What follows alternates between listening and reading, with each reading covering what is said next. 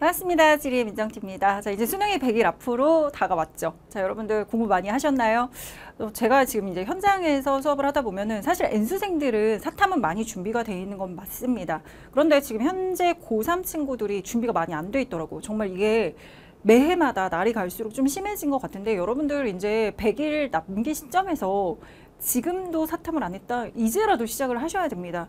정말 제가 그동안에는 그래도 국영수를 중심으로 하라고 이야기를 합니다. 저는 국영수 중심으로 하고 사탐은 일주일에 두 번 정도 하라고 이야기를 하는데 얘들아 아직까지 개념이 안 돼 있는 친구들이 상당히 많더라고. 내가 그걸 어떻게 느꼈냐면은 7월 학평 모의고사의 점수를 보고 느꼈거든.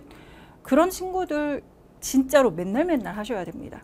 이제 100일 다가왔으니까 아 이제 시작해도 늦지 않아가 아니라 늦었어 얘들아. 하지만 그렇다고 이제 포기할 거야 그건 아니잖아. 그러니까 여러분들이 좀 덥고 지금 날씨가 너무 덥죠. 너무 폭염에 시달리고 있는데 덥고 짜증 나더라도 어떡하겠어. 그, 그럼 얘들아 내년에 또 너희 이 캐스트를 보고 또 강의를 또 듣고 이러고 있어야 된다? 진짜 싫잖아 그거는. 그치? 그러니까는 여러분들 좀 후회하지 않으려면은 그래도 100일 남긴 시점에서 여러분들이 착실하게 공부를 해나가야 되는데 과연 어떻게 이 100일 동안 지리 공부를 할 수 있는지 선생님이 간략하게 캐스트로 준비를 했습니다. 자 우선 100일 전 해야 할 일. 어, 먼저 항상 제가 N수생들하고 빗대서 이야기를 해서 미안하지만 N수생들은 그동안에 많이 많이 해왔어. 물론 그렇지 않은 친구들도 있지만은요. 음, 그래서 기출 문제가 되게 많이 풀어져 있는 상태인데 고3 학생들 같은 경우는 아직 많이 풀어져 있지 않더라고. 반드시 3년치는 꼭 돌리셔야 됩니다. 6평하고 9평은 기본이 돼야 되고요.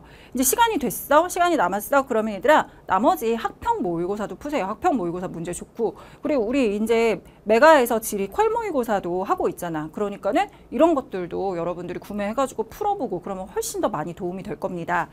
자, 이 풀었던 친구와 안 풀었던 친구들이 해야 될 일. 공통점으로 가장 중요한 거는요. 저는 제가 그랬죠. 지리 맨 처음부터 개념이 가장 중요하다고 얘기했습니다. 개념을 완벽하게 복습하는 거. 그러니까 여러분들이 그동안에 공부했던 책, 내가 그동안에 정리해왔던 거 있잖아. 그 중에 내가 제대로 외우지 못하고 얘들아 한 번 좀 틀렸던 부분은 계속적으로 틀린다? 그런 부분을 열번 스무 번 계속 누적 누적 누적해가지고 반복을 해야 돼. 그리고 여러분만의 이제 정리, 나만의 노트는 필수적으로 꼭 가져가야 된다라는 겁니다. 그래서 그동안에 어, 여러분들이 공부해 왔던 거, 뭐 기출, 또 그 다음에 개념, 그리고 여러 가지 문제집들을 종합적으로 해서 너희만의 노트를 만들라고 선생님이 얘기했어. 왜냐면 그거를 너희가 수능날 가져갈 거거든.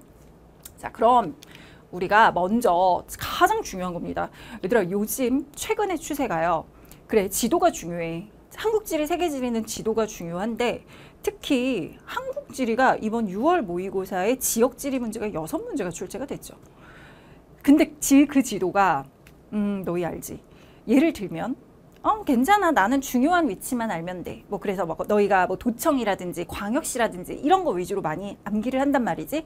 그런데 6월 모의고사를 본 친구들은 아마 알 거야. 상당히 어, 시험에서 별로 중요하지 않았던 위치를 알아야지 문제를 풀 수 있게 됐어. 뭐 예를 들면은 우리 경상도의 영천이라든지 또 칠곡이라든지 이러한 지역들.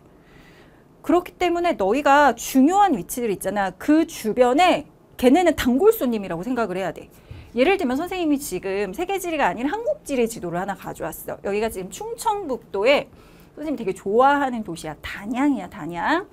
자, 이 단양의 주변의 지역들 그리고 이 단양과 특징들이 상당히 비슷하게 나타납니다. 그럼 이 표시된 지역이 지금 충청북도 단양입니다. 단양인데 왜 내가 여기를 가지고 왔냐? 이곳은 특징들이 상당히 많습니다. 석회암지대, 카르스티 지역, 그리고 시멘트 산업 발달했고요. 그리고 밭작물로 유명한 마늘로도 상당히 유명한 지역이고요. 주변 지역들의 뭐 대표적으로 제천이라든지 또 강원도의 영월이라든지 그리고 경상북도의 바로 우리 문경세제에 해당되는 조령, 문경에 해당되는 곳들 여기가 거의 공통적인 특징들이기 때문에 같이 봐야 된다라는 거야. 내가 지금 여기다가 한국지리 지도만 가져왔는데 내가 세계지리를 안 가져왔어. 왠지 알아? 얘들아 요즘의 세계지리 문제는 물론 지도를 주기도 하지만 너희 머릿속에 지도가 그려지게 시험에 낸다. 뭐 예를 들면은 여기에 뭐 티그리스 강과 유프라테스 강이 흐르고 그럼 너희가 티그리스 강과 유프라테스 강이 어느 나라에 흐르는지를 알아야 된다라는 거야. 그 상류에 해당되는지요. 아, 걔네가 튀르키였지. 그 다음에 하류에 해당되는지요. 아, 거기가 이라크였지. 이러한 나라들의 특징들을 물어보는 문제가 반드시 하나가 나와. 그런데 그게 작년부터 출제가 됐기 때문에 올해도 분명히 나올 거라고. 올해 분명히 나올 거기 때문에 너희 지도를 되게 띄엄띄엄 보고 너희가 그냥 대충대충 봐도 괜찮아. 어차피 나는 뭐 지도를 잘해. 그래서 나는 중요한 지도만 외우면 돼. 이렇게 생각하는 친구들이 있는데 절대. 올해는요, 제 예상건데 뭐 정부의 여러 가지 정책들이 있기 때문에 저는 사탐이 아무래도 음, 사탐에서 조금 변별력을 주지 않을까 생각합니다. 문과 학생들은요. 그렇다면 문제를 어렵게 출제를 할 것인가? 그건 아니라고 봐요. 왜냐하면 너희의 실력이 어렵게 출제했다가는 큰일 날 지금 형편이거든. 그래서 상당히 지엽적으로 내지 않을까 싶습니다. 그렇기 때문에 너희가 되게 꼼꼼하게 봐야 된다는 거. 꼼꼼하게 공부하셔야 된다는 거. 그래서 첫 번째 지도. 지도 정말 중요하니까 선생님 지도 특강 책 있잖아. 계속 내가 잘 안 외워지는 지역들. 아 그리고 그 교재 자체에서도 강의가 되게 짧단 말이야. 아직 안 들은 친구들은 그거 한번 정리하면서 다시 한번 꼭 복습하면서 봐봐. 그럼 되게 지역적인 위치까지 선생님이 설명을 하고 있거든. 그래서 중요한 지도들 우리 친해지자고. 그래야지 지리에서 가장 기본적으로 지도 문제들을 다 맞고 가지.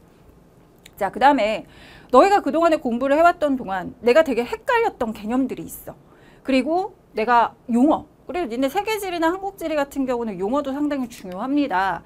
자, 뭐 혁신도시. 그래, 혁신도시 요즘에 너무나 잘 나오고 있죠. 그런데 혁신도시가 어 전주 나 전주라고 배웠는데 진주도 있었나? 전주와 진주 두 군데 다 있죠, 그렇죠?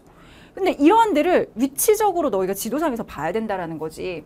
그리고 뭐 고향이나 성남 이 중에서 주간인구 지수 주간인구 지수가 뭔지 알아야지 문제를 풀겠지. 당연히 성남이 테크노밸리라든지 뭐 네이버도 있기 때문에 당연히 주간인구 지수는 성남이 높지만 이러한 너희가 가장 기본적인 용어들 그리고 그 기본적인 용어에서도 너희가 많이 틀리는 거 뭐 인구가 인구 비율 이런 것들을 되게 많이 틀린다고. 어? 그러니까 순지 비율인지 항상 그래프를 볼 때도 Y축에서 이야기하는 게 비중인지 상대값인지 순지 이게 되게 중요하다라고. 그런 것들을 꼭 체크를 하셔야 되고요. 그래서 니네 이렇게 그래프 나오고 지도 그 밑에 되게 쬐까맣게 글씨가 나온다고 그거 얘들아 정말 꼼꼼하게 읽어봐야 돼. 알겠지? 자, 그래서 여러분들이 그동안에 좀 헷갈렸던 개념들 그런 것들은 다시 한번 형광펜으로 칠을 한다거나 아니면은 너희만의 노트 조그맣게 이쁘게 만들지 말라고 지금 시간이 없잖아. 거기다 왜 투자를 하냐? 내가 미술하는 애한테 이거 만들어야 돼. 그랬더니 정말 너무 이쁘게 만들어 온 거야. 그래서 내가 너 이거 시간이 얼마나 걸렸니? 했더니 에 막 이러더라고. 이쁘게 만들지 마 얘들아. 니네가 그냥 알아볼 수 있게만 만들면 돼. 여기다가 지금 시간을 투자하는 게 아니야. 자 그래서 헷갈리는 개념, 불분명한 개념들 잘 정리해 두자는 거지. 그리고 기출과 친해지셔야 됩니다. 아직까지 기출 안 돌린 친구들 아까 첫 번째 얘기했죠. 적어도 3개년치는 기출 꼭 돌리자고. 니네 기출 안 돌린 친구 지금부터 매일마다 매일마다 하루에 뭐 열문제라든지 20문제 너무 버거면 열문제라도 풀고 거기서 모르는 것들 정리하고 가. 진짜로 해야 돼. 니네가 기출 문제를 한 3년치를 학평까지 다 돌리잖아. 그럼 진짜로 자신감이 업된다. 점수 올라가. 왜냐면은 지리나 한국지리나 세계지리는 공통적으로 전통적인 문제들이 있어. 정말 바뀌지 않는 문제들. 그럼 그 문제들을 다 맞고 갈 수 있거든. 근데 최신의 트렌드라든지 최신의 유형들은 선생님이 수업 시간에 얘기한다고 아까도 뭐 얘기했듯이 요즘엔 지도가 머릿속에 있어야 돼 이런 것들은 최신의 트렌드라고 그런데 옛날부터 나왔던 전통적인 것들이 기출을 통해서 너희가 반복을 하면서 아 이런 부분들이 니네 3개년치를 풀잖아. 이게 계속 나오는구나. 아 이게 계속 중요하구나. 이런 것들을 너희가 인지할 수 있거든. 그래서 기출을 꼭 풀어봐야 된다라는 거 최소 3년치야 알겠지? 최소 3년치 꼭 풀어보시고요. 그리고 너희 제일 어려워하는 거. 사실 자연지리는 어 한국지리는 되게 쉬워. 그리고 세계지리에서는 이제 기후 파트를 많이 어려워하는데 기후 파트 사실은 문제 많이 풀다 보면은 이제 감이 옵니다. 그렇죠? 항상 맨날 뭐 그 주어지는 위치만 물어보고 너희가 많이 어려워하는 게 자료인데 이 자료랑 많이 친해져야 돼. 나오는 자료들이 형태만 달리해서 계속적으로 반복이 된다고 사실은. 물론 지리는요.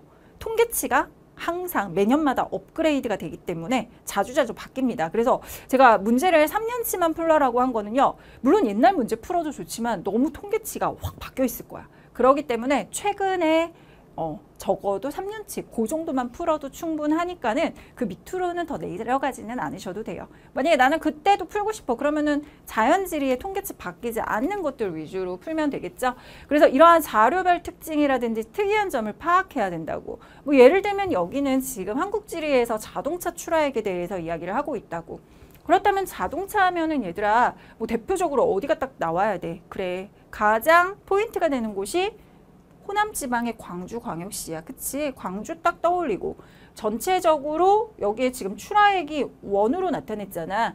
종사자 비율, 종사자 비율이 아 남동 쪽 즉 우리나라 영남 지방의 종사자 비율이 상당히 높은 비중을 차지한다구나. 이런 것들을 너희가 체크하면서 봐야 된다고. 그래서 그래프에서 의미하는 것들이 무엇인지 자료랑 친해져야 된다라는 이야기였습니다. 아시겠나요? 그리고 이제 가장 중요합니다. 너희 그동안에 막뭐 수능 특강도 풀고 선생님 교재도 풀고 또 다른 선생님 교재도 풀고 막 이러면서 자료들이 막 이렇게 중구 난방식으로 돼 있지. 자, 예를 들면 이번에 이제 선생님 교재 뭐 그 뭐지 맨 처음에 지도 특강부터 해 가지고 로드맵 그 다음에 이번에 이제 키맵까지 그리고 이제 요거는 아직 안 나왔기 때문에 선생님 넣지를 않았는데 그 다음에 엔드맵이 들어간다고 이 교재들을 모두 다 하나로 단권화를 시켜버려. 왜? 너희 이거 얘들아 내가 중요한 거 저 책에다 체크해놓고 또 이 책에다 체크해놓고 너 니네 그때마다 꺼내가지고 볼 거야? 그거 아니잖아.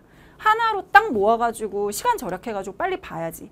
그걸 얘들아 이번 방학 때 좀 끝내.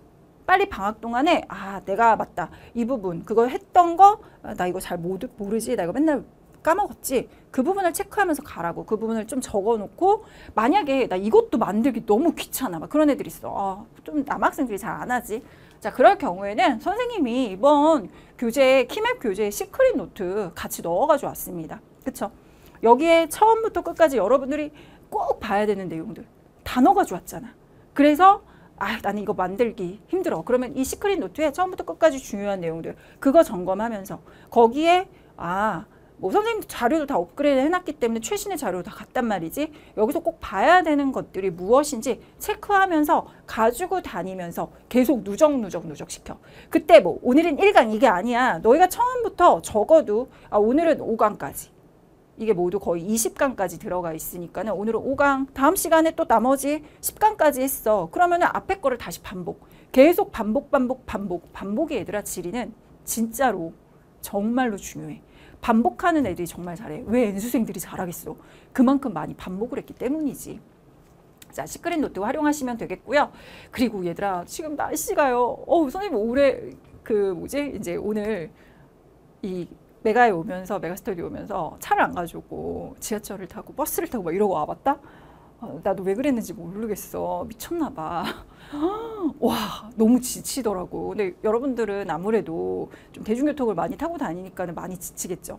근데 지금 지치시면 안 돼. 선생님은 너희보다 조금 나이가 더 있잖아. 그치? 여러분들 한 이렇게 어린 그런 나이에 지치지 마시고요. 물론 힘듭니다. 그런데 그게 더위 때문이 아니라 여러분들이 좀 공부에 스트레스를 받고 학습하는 데 스트레스를 받고 나 100일 동안 나 지금까지 뭐 한 거지? 어, 나 어떻게 나 또 애기는 어떻게 막 이런 친구들이 있을 거라고 얘들아 아직 닥친 건 아니잖아 그치 그러니까 지금이라도 후회하지 않으려면 그 생각하지 말고 지금 내 눈앞에 당장 100일이라는 시간 동안 내가 어떻게 해야 될지 그거를 점검하는 게 가장 중요합니다. 그렇죠? 그리고 우리 곧 9월 모의고사가 있습니다. 그렇죠?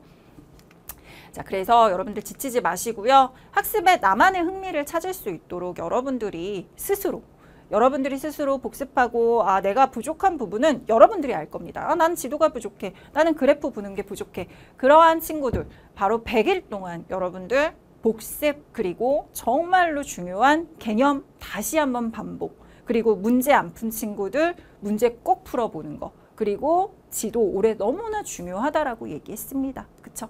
그 부분들만 여러분들이 한다면 여러분들 충분히 수능에서 점수 가져갈 수 있습니다. 지금도 늦지 않았습니다. 선생님이 민정티가 여러분들 만점 받을 수 있는 그날까지 수능, 수능 전날까지도 수능 날까지 제가 도와드리도록 할 테니까요.